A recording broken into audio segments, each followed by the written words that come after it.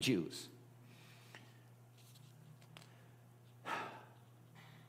Jews, according to Scripture, will be a blessing. When you look in the Bible, God told Abraham, I will bless the nations of the earth through you. And I've shared this with you guys before, but 38% of all Nobel Prizes for economics and 67% of the John Clark Bates medals for promising economics under 40 all came from Jews. The Jews have blessed the world disproportionately.